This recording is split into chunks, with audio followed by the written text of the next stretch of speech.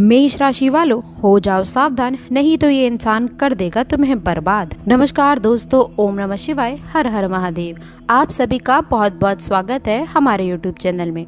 एक व्यक्ति आपकी जान के पीछे पड़ा है, आपका पक्का दुश्मन बन बैठा है। दोस्तों, इस शत्रु को आज ही पहचान लो, वरना बहुत देरी हो जाएगी। जी हाँ दोस्तों, आप सभी को ये बात बताना चाहेंगे कि ये एक ऐसा इंसान है जो आप लोगों को पूरी तरह से बर्बाद करना चाहता है, मिटाना चाहता है और ये आपके खिलाफ षड्यंत्र रच रहे हैं। लेकिन दोस्तों, आपको इसके बारे में बिल्कुल भनक तक नहीं है।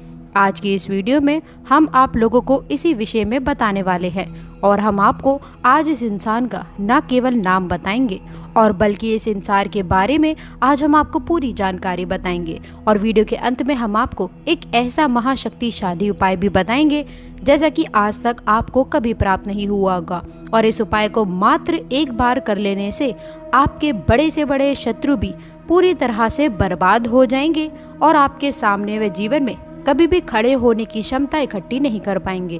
वे आपका बुरा करने के बारे में भी नहीं सोच पाएँगे। दोस्तों, आप सभी को बताना चाहेंगे कि आप अपने जीवन काल में बहुत सारी परेशानियों का सामना किया है, जो थोड़ी बहुत खुशियाँ आपको हासिल भी हो पाई हैं, उसमें भी दूसरों की नज़र आपको तुरंत लग जाती है। आप कितनी भी मेहनत क्यों ना करें, लेकिन अंत में परिणाम उसका कुछ नहीं निकलता और आपके मन में ऐसी भावना उत्पन्न हो जाती है कि भगवान हमारा साथ नहीं देता है। दोस्तों, आपको बता दें कि अब आप लोगों को यदि कोई अच्छा अनुभव प्राप्त होगा भी तो दोस्तों, ये व्यक्ति उसको बर्बाद करने की कोशिश तो करेगा, पर वह कर नहीं पाएगा।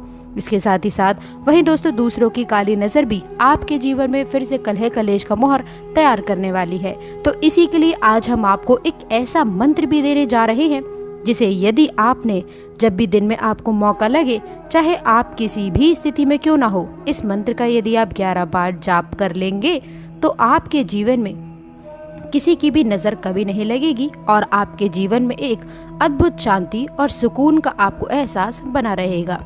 जी हाँ दोस्तों तो वीडियो को आप पूरा देखिएगा। शुरू से लेकर अंत तक वीडियो के एक एक भाव को बारीकी से आपको समझने की आवश्यकता है, क्योंकि हम ये बात जानते हैं कि आपने अपने जीवन काल में जो भी खुशियाँ हासिल की हैं उनकी आपने बहुत बड़ी कीमत भी चुकाई है और आपको जो भी कुछ मिला है, वे इतनी आसानी से नहीं मिला है। तो आप उसे इतनी आसानी से गवाएँगे भी नहीं। और दोस्तों, अब आपको ये कष्ट यहीं रोकना होगा, क्योंकि आप लोगों के लिए अब हम ऐसे ऐसे महाशक्तिशाली समाधान लेकर के आए हैं कि दोस्तों, अब आपकी एक ही कोशिश से आपके सारे शत्रु परास्त हो जाएँगे और गुरु जी की कृपा भी आप पर बरसती रहेगी। जी हाँ दोस्तों, ये चीज़ आपकी तकलीफों को दूर कर देंगी। हम आप लोगों के लिए हमेशा ऐसे ही ज्ञानवर्धक और नॉलेजेबल जीवन के लिए बहुमल जानकारी अपनी वीडियो के माध्यम से लाते रहते हैं। बस आपसे केवल इतना चाहते हैं कि आप वीडियो को पूरा देखें और वीडियो में बताई गई हर एक जानकारी को बारीकी से समझने का प्रयास करें, क्योंकि आप इस बात का अनुमान लगा सकते हैं कि बहुत ही मेहनत के बाद इस तरह की ज्ञानवर्धक वीडियो बनाई जाती है और आपसे बस हम इतना सपोर्ट चाहते हैं कि आप वीडियो को पूरा देखें और यदि हमारे द्वारा दी गई जानकारी से आपके जीवन में किसी भी प्रकार का बदलाव आ जाता है, आपको ज़रा भी फ़ायदा हो जाता है तो हमारी मेहनत वसूल हो जाएगी। अब आपसे हाथ जोड़कर निवेदन करते हैं कि अगर आप हमारे चैनल पर पहली बार आए हैं तो चैनल को सब्सक्राइब करके बेल आइकन ज़रूर दबा दें, ताकि ऐसी ही ज्ञानवर्धक जानकारी आपके राशि वाले जातकों को समय समय पर मिलती रहे। तो चलिए दोस्तों, बिना देरी किए हुए अब बात करते हैं कुछ उन व्यक्तियों के बारे में जो आपको बर्बाद करने के बारे में सोचते रहते हैं। तो दोस्तों, अब आगे बढ़ते हैं और जानते हैं उन व्यक्तियों के बारे में कि वो कौन है। देखिए, आसपास ही वह व्यक्ति है। उस व्यक्ति का नाम शुरू होगा आर, टी और पी से। इन अक्षरों वाले लोगों से आपको खास बच कर रहने की आवश्यकता है। ग्रह गोचर के आधार पर हमने थोड़ी जानकारी दी है। अब हम आपको बताएँगे कि आप लोगों को वह कौन से इंसान हैं जो सबसे ज़्यादा परेशान कर रहे हैं। और इनसे कैसे बचना है, जीना मुश्किल कर रखा है, उसे आप अपना पक्का दुश्मन कह सकते हैं। हालाँकि मानसिक तौर पर, भावनात्मक तौर पर कुछ इस इंसान, इस तरह के इंसान हैं कि आप कभी किसी से कठोर दुश्मनी नहीं मानते हैं, आप किसी के लिए कभी बुरा नहीं सोचते। आप मन से बड़े ही प्रेमी और नेक इंसान हैं, लेकिन लोगों का क्या करें? लोग तो हमेशा आपके खिलाफ ही रहते हैं और आपके खिलाफ षड्यंत्र करते रहते हैं। तो अब आपको थोड़ा सा सतर्क होना है और कुछ ऐसे काम करने हैं जिससे कि आपकी कामयाबी में लोग बाधक ना बने। तो दोस्तों, आज हम आपको बताने जा रहे हैं कुछ ऐसे उपाय जिनको यदि आप करेंगे तो आपका शत्रु का नाश हमेशा के लिए हो जाएगा। याद रखें दोस्तों, नाश कहने का मतलब यहाँ पर कोई अनर्थ होना नहीं है। नाश होने का मतलब यहाँ पर यह है कि उसके मन में आपके लिए शत्रुता का भाव समाप्त हो जाएगा। और वह आपसे दूरी बना लेगा अपने आप। जी हाँ दोस्तों, वह आपके जीवन में कभी आड़े नहीं आएगा और आपके जीवन में रुकावटें खड़ी नहीं करेगा। इन उपायों से किसी का अनर्थ नहीं होगा। इसके लिए आप देख रहे हैं, दोस्तों, किसी के लिए भी बुरा नहीं करेंगे। बस आपका जीवन सरल हो जाए और वह इंसान आपके बारे में सोचना छोड़कर किसी और चीज़ों को सोचने लगेगा, कहीं और व्यस्त हो जाएगा। इसीलिए ही ऐसे शत्रु का विनाश करना कहते हैं। तो दोस्तों, सबसे पहले हम आपको बताते हैं वह मंत्र, जिससे कि आप, जब भी आपको बुरा लगे, आपका कोई अहित करने के बारे में सोचे तो इस मंत्र का जाप आप ज़रूर करें। तभी दोस्तों, आप लोगों को लाभ की अनुभूति होगी। आपका मन खराब हो, आपको लगे कि आप परेशानी में फंस चुके हैं और अब आपको कोई भी रास्ता नज़र नहीं आ रहा हो तो आप केवल इस ही मंत्र का मन ही मन उच्चारण कर सकते हैं। आप किसी भी अवस्था में हो, कोई फ़र्क नहीं पड़ता। इसके लिए आपको विधि विधान की भी कोई आवश्यकता नहीं है। जी हाँ दोस्तों, यह सर्व बाधा मुक्ति मंत्र है और बहुत ही शक्तिशाली सिर्फ़ ग्यारह बार आपको इसे जाप करने से आप इसका प्रभाव महसूस कर सकते हैं। तो दोस्तों, मंत्र को ज़रा ध्यान से सुनिए। आपके दोस्तों, हम बड़े खास तरीके से इस मंत्र को बता रहे हैं तो ध्यान से सुनेगा मंत्र कुछ इस प्रकार है। ओम नरसिंहाय विघ्न हरे वज्र नकाय दही मही, तन्नो नरसिंह प्रचोदया। मंत्र को एक बार फिर से सुनिए।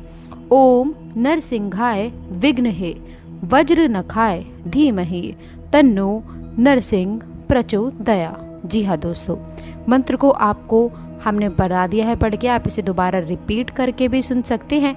जी हाँ दोस्तों, आप इसे नोट कर लें और इसे याद भी करें। दो चार बार आप इसे बोलेंगे, आपको याद हो जाएगा। ये मंत्र इतना कठिन नहीं है। तो इससे आपका मन शांत होगा, आपकी हर एक मानसिक परेशानी दूर होगी, आपके अंदर आत्मविश्वास जागृत होगा। अब दोस्तों, आप लोगों को ध्यान से सुनना है एक ऐसा महाशक्तिशाली उपाय, जो आपके किसी भी शत्रु से आपकी मुक्ति करा देगा और उस शत्रु का भी ध्यान पलट देगा। जी हाँ दोस्तों, वह आपकी नहीं, फिर कहीं और ही विचारशील हो जाएगा, आपके बारे में सोचना भूल ही जाएगा। इस शत्रु का विनाश करना कह सकते हैं।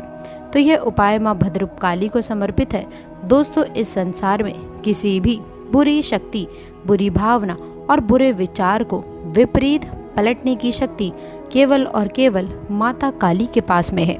ऐसा इसीलिए क्योंकि माँ काली स्वयं शक्ति का जागरक और प्रचंड स्वरूप होती हैं। तो अब आप जब भी भयंकर आपदा में फंसेंगे तो आपको निकालने का कार्य माता काली ही करेंगी। तो ये उपाय भी माता भद्रकाली के लिए समर्पित है। याद रखिएगा कि माता काली भद्रकाली में कोई भी अंतर नहीं है।